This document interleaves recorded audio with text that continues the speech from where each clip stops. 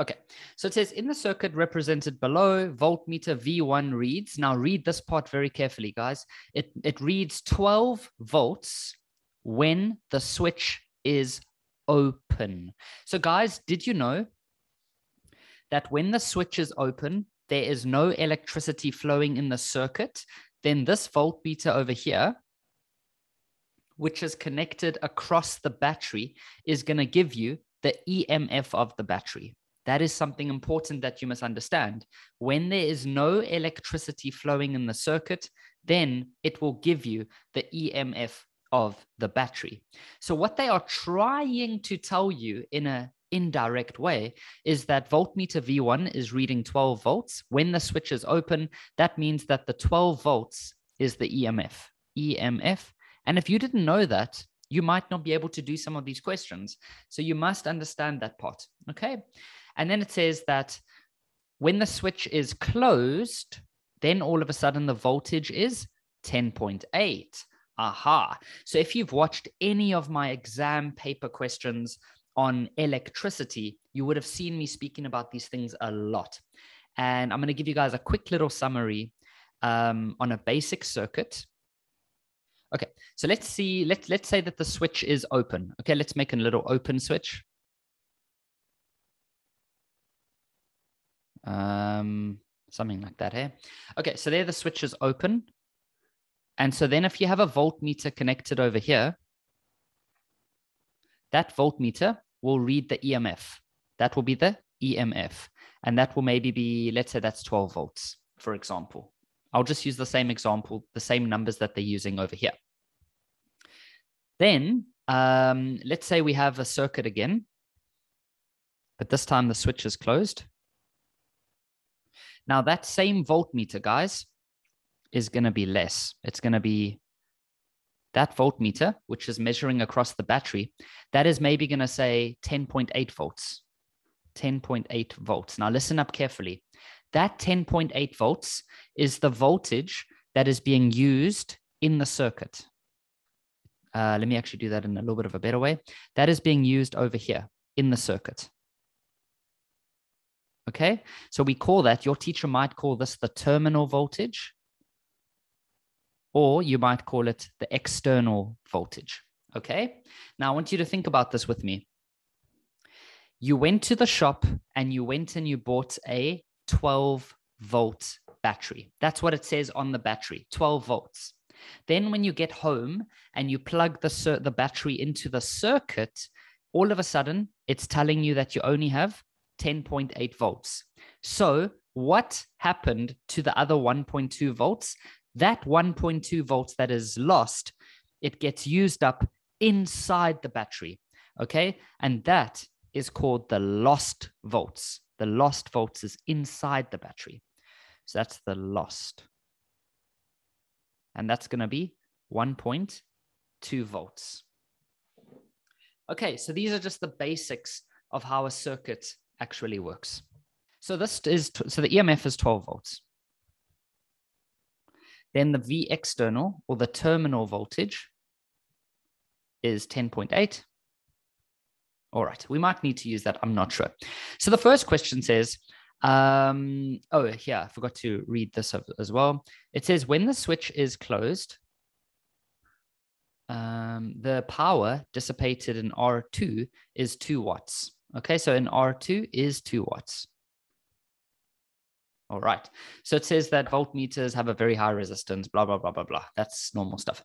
Okay. So it says calculate the reading on the ammeter. Now, where's the ammeter? It's over there.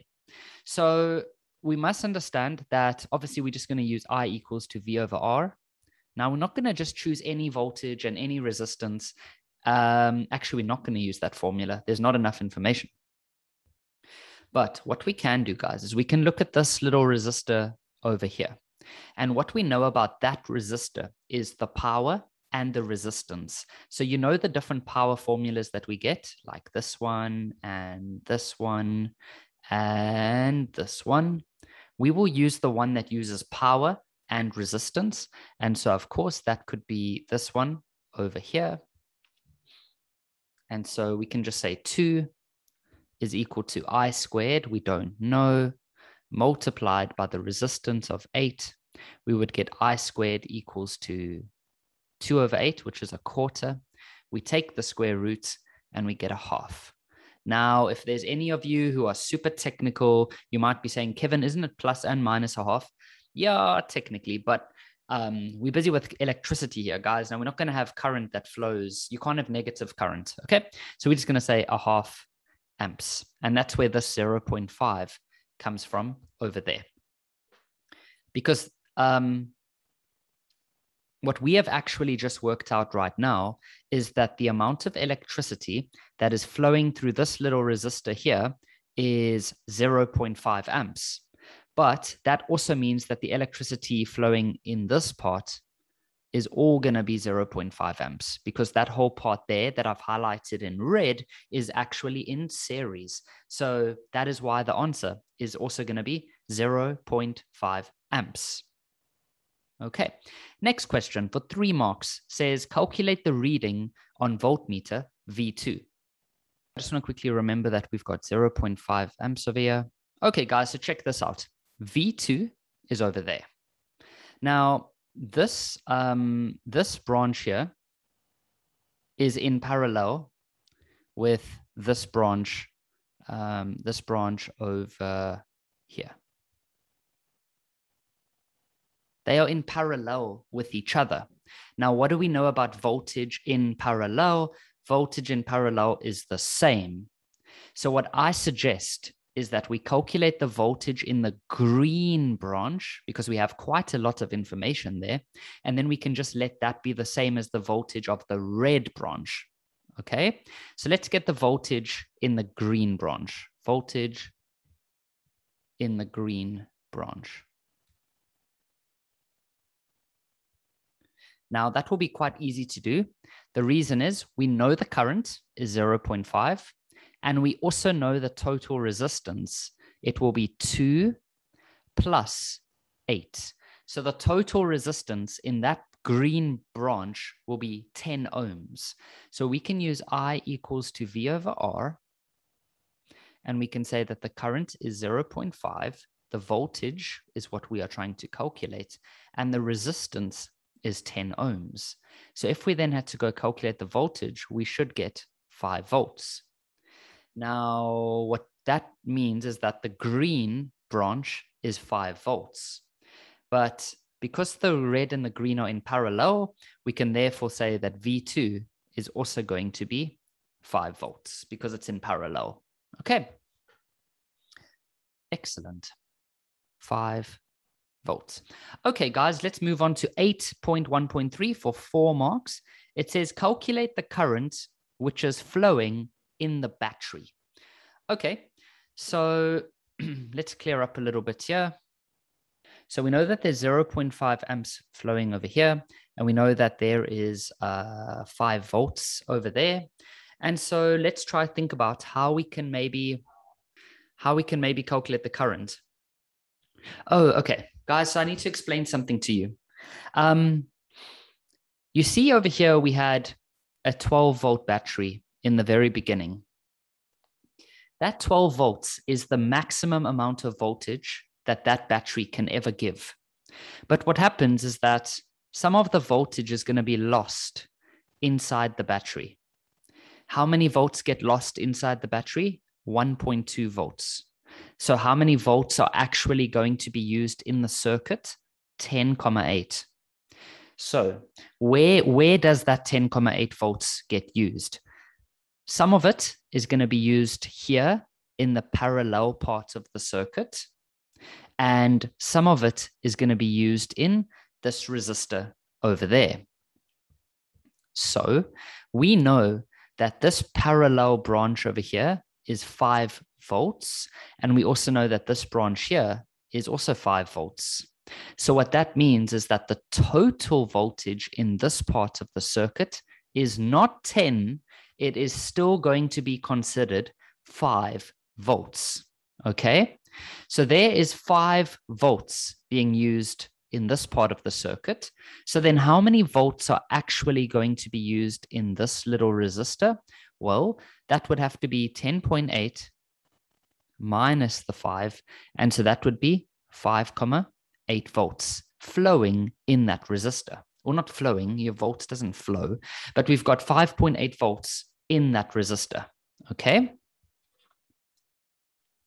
So now what we could do is we could just have a look at, um, let's quickly to get rid of this.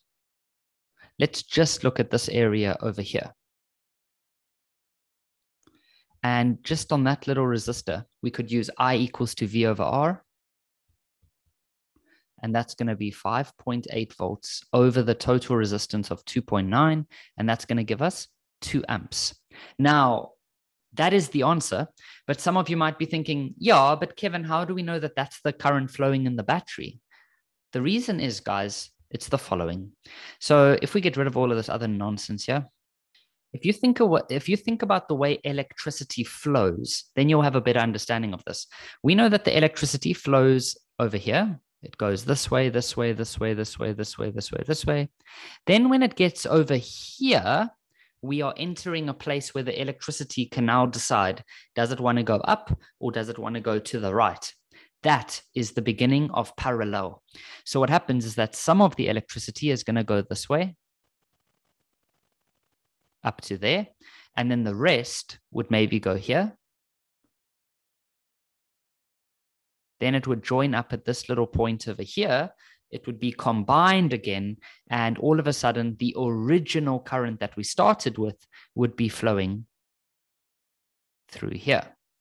So, can we see that the amount of electricity that is flowing through the battery is the same as the electricity flowing through the 2.9 ohm resistor?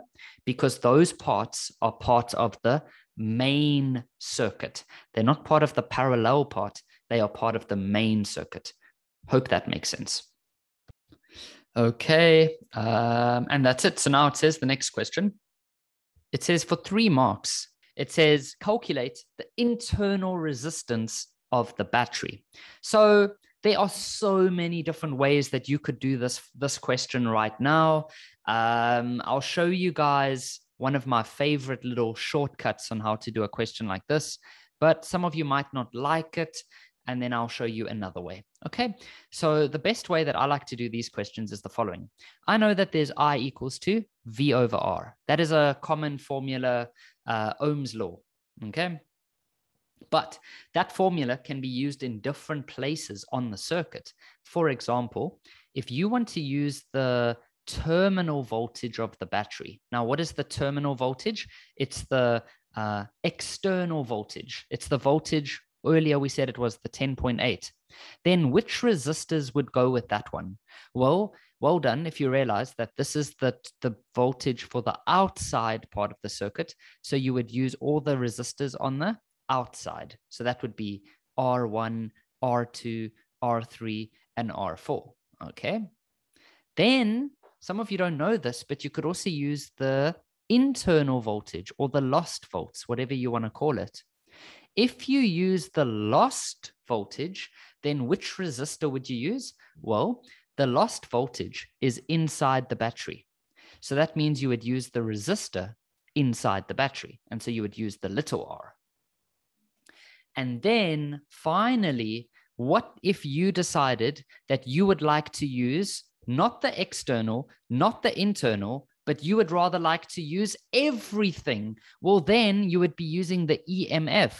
So we can use the EMF if you want, but then you got to ask yourself, what resistances would you have to use? Well, then you would have to use the external resistors and the internal resistor of the battery. And this is a formula that you've probably seen before, but your teacher probably writes it more like this. Okay. But at the end of the day, it's all going to be I equals V over R. And the problem is, is that in class, we get taught how to use this one too many times or this one, but we don't really get explained a lot of this one and this one. Okay. So what this now means is that I can calculate the resistance of the battery very easily if I just decide to use um, this formula over here. I can just use that one Because what it tells me is that the current, which is uh, two amps, is equal to the lost volts, which is 1.2, right? Because we have 12 volts is our EMF and 10.8 is the external. And then we're going to say, um, where was I writing? Over the internal resistance. And then if you had to go rearrange everything, you should eventually find out that the internal resistance is going to be 0.6 ohms. Okay, so the other formula that you guys could have used, and I know that a lot of people would have preferred to use this one, would have been this one over here. And the way that would have worked is you would have used the EMF as 12, you would have used the current as 2, and then for the resistors, you would have had to go and calculate R. Now, remember what that R is. That R is the total external resistances. So it would be this one, and this one, and this one, and this one over here. Okay. And so that would be the other approach that you could have used. All right. And of course, you will still get to the same answer. Okay. But I think, yeah, you guys can try that one if you want, but make sure you get to an answer of 0.6. Okay, but I'm going to quickly move ahead now to the last little question of this one, which is a multiple, not a multiple choice, it's a theory question. And what they tell us is the following they say R4 is replaced by a conductor with negligible resistance. Okay, how will this affect the power in R2? Haha. So, guys, think about this very carefully. What they are doing here is they are going to take R4 out. They're to they're to they're to take it away and they're to replace it with a conductor. So they're to replace it with a piece of wire. So let's literally just go take this thing out completely. Let's take it out. Okay. And then let's just replace it with a piece of wire like that. And so what we must understand now is that if you are electricity, or no, I can't say that. Let's say um, if uh, imagine, let's imagine how electricity works. When electricity gets to this part of the circuit, okay, it is going to choose the path with lowest resistance. But because this wire has no resistance, all of the electricity is going to go this way. All of it is going to go this way and none of the electricity is going to go through this branch.